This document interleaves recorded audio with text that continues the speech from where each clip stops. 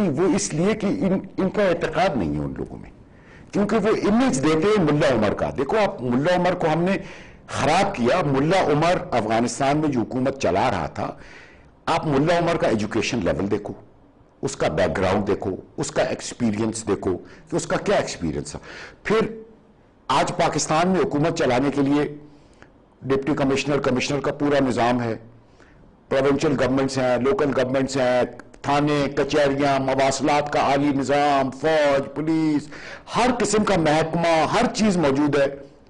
افغانستان میں کیا تھا؟ کچھ بھی نہیں تھا۔ اور وہ جنگ، آج ابھی حکومت آئی ہے نا، ابھی تمام لوگ کہہ رہے ہیں، بھائی، حکومت کو سیٹل ڈاؤن ہو جانے دو گیو دیم ٹائم پھر یہ ان سے ڈیلیوری کی توقع کرو۔ تو طالبان تو جنگ میں تھے۔ ان کے بارے میں تو کسی نے نہیں کہا کہ یار ان کو سیٹل ڈاؤن ہو جانے دو give them time when we will see ان کو تو کسی نے موقع فراہم نہیں کیا۔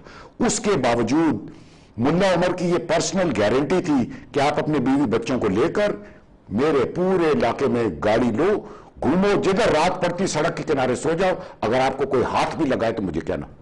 اور کوئی نہیں لگاتا تھا۔ یہ مجھے ان لوگوں نے بتایا جو وہاں پھرتے تھے۔ کوئی نہیں ہم کو چھوتا تھا۔ کیوں؟ یہ نظام تھا اس کا۔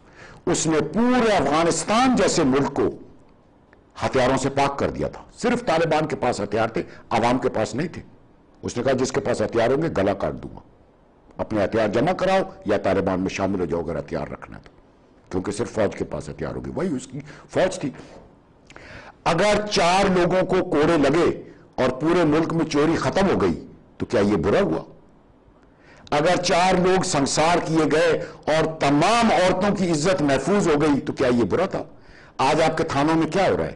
یہ حکومت ہے، یہ غنڈا ایلیمنٹ نہیں ہے، یہ آپ کی پولیس ہے، وہ عورتوں کے ساتھ کیا کر رہی ہے؟ کیا سلوک ہو رہا ہے؟ گاؤں گاؤں بڑے بڑے جو چودھری صاحبان ہیں، وہ اس علاقے کی غریب عورت کی کیا عزت اس ملک میں رہ گئی ہے؟ کیا ہو رہا ہے؟ کیا یہ بہتر ہے یا وہ بہتر تھا؟ ہم سے تو ایک میرا خیال آپ دس سال بھی لگے رہے تو گجر خان بھی آپ سے ہتھیاروں سے پاک نہیں ہو سکتا، پورا ملک تو بڑی دور کی بات ہے۔ کہنے کو ہم تقریباً نعرہ لگا دیتے ہیں کہ کراچی کو ہتھیاروں سے پاک کر دیں گے۔ تو میں یہ کہہ رہا ہوں کہ ایسے میں ایک امیج بلڈ اپ کرنے کی بات